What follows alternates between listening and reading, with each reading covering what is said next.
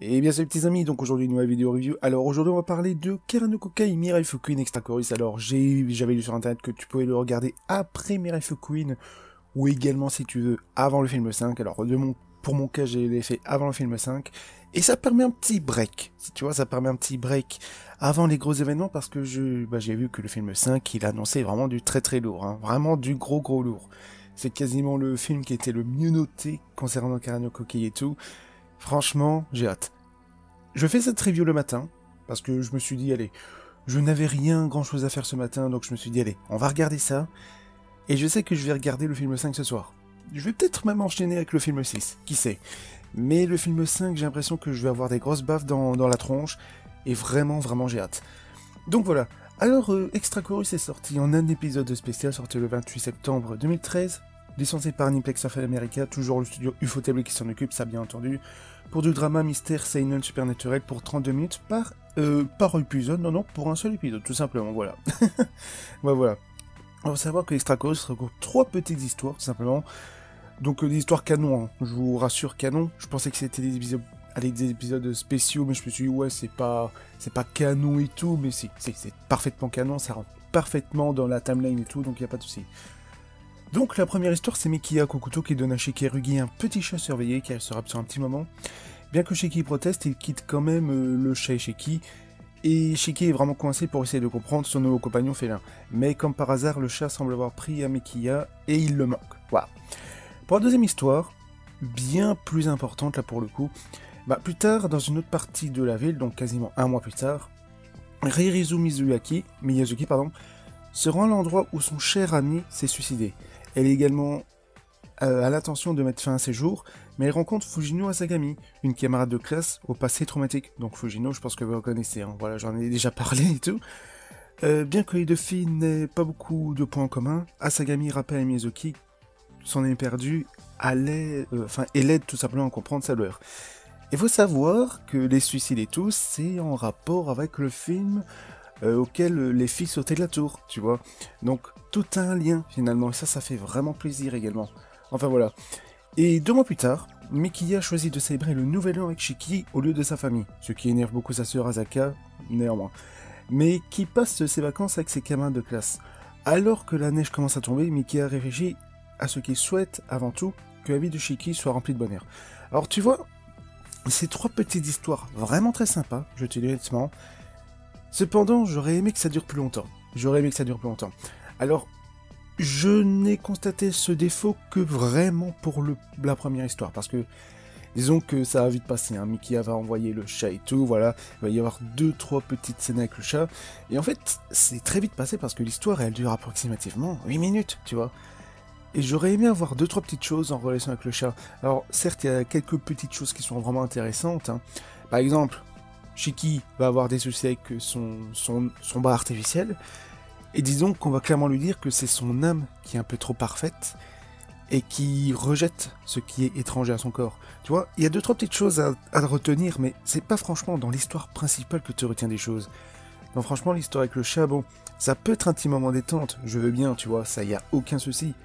Mais malgré ça, bah le truc avec cette petite histoire, c'est qu'il y a rien à retenir en fait, tu vois ce que j'ai trouvé, hein, personnellement, ce que j'ai trouvé. Moi, j'ai plus pris ça pour un grand moment détente. Et je dis pas non, tu vois, parce que après quatre films qui, mine de rien, bougent beaucoup, mais vraiment beaucoup et tout, bah, ça fait du bien d'avoir un petit break. Ça fait du bien d'avoir un petit break. Donc voilà, faut prendre ça tel quel comme un, épisode spécial.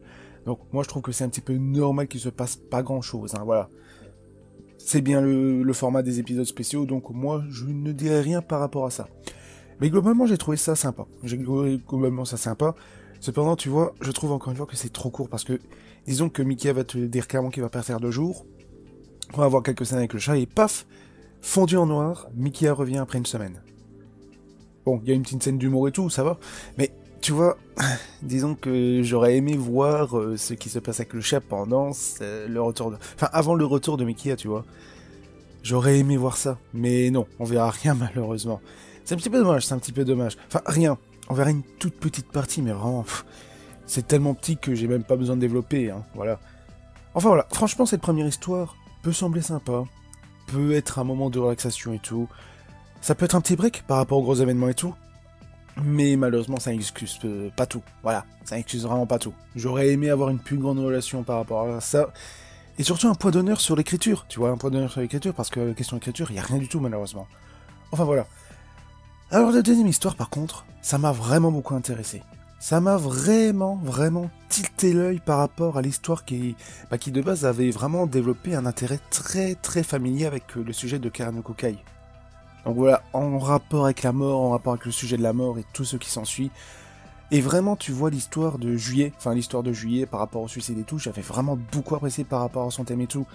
Et mais ça va revenir un petit peu, tu vois, dans cette partie de l'histoire. Et ça m'a fait... Allez, ça m'a fait vraiment plaisir. Et puis surtout, ça fait plaisir de voir qu'il y a un lien avec les morts et éventuellement une meilleure amie. Donc moi, éventuellement, ça m'a fait vraiment plaisir de voir la relation que ça pouvait avoir avec cette fameuse Yuko, Yuko qui est donc la personne qui était euh, suicidée tout simplement en juillet et tout. Et voir à quel point un mort peut vraiment détruire des liens, tu vois. Enfin, pas vraiment des liens, mais peut détruire une personne, tu vois. Un mort, ça peut vraiment marquer. Et surtout que quand tu vas voir la relation entre Ririzu et Yuko, bah, tu vas voir que l'importance des mots et tout, ça fait quelque chose de très, très, très important. Et surtout, ça peut être très blessant, tu vois. C'est ce qui honnêtement aura poussé Yuko au suicide.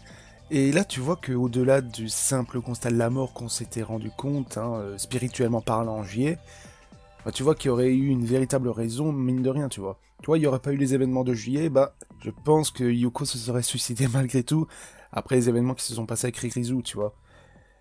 Et voilà, honnêtement, ça m'a fait vraiment plaisir de développer cette relation et tout. Et puis, Fujino, Fujino, ça m'a fait vraiment plaisir Enfin, plaisir, c'est vite dit, bah qu'elle retombe un petit peu dans ses travers. Parce que t'as l'impression quand même qu'elle... T'as l'impression à un moment qu'elle va tuer Rizzo, mais vraiment, elle va la tuer. Et en plus, elle te dit un moment, ouais, 6 ou 7 euh, morts, parce que dans les événements précédents, elle avait fait 6 morts, hein, tout simplement. Mais elle dit 6 ou 7, ça change pas grand chose. Et tu vois que mine de rien, ouais, je sais pas si elle va retomber dans ses travers plus tard, parce que mine de rien, tu la vois, elle est aveugle et tout, elle est devenue complètement... Euh, voilà. Tu vois vraiment qu'il y a eu un gros événement et tout, et qu'elle n'est plus quasiment elle-même dans sa façon de se déplacer et tout. Tu vois que ça a changé, tu vois que ça a changé.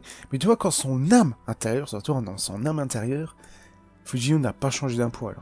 Fujino n'a pas changé d'un poil. Franchement, alors je me demande si plus tard il va se passer des choses quoi. Alors oui, elle a retenu des choses avec Shiki et tout, ça y est, aucun souci.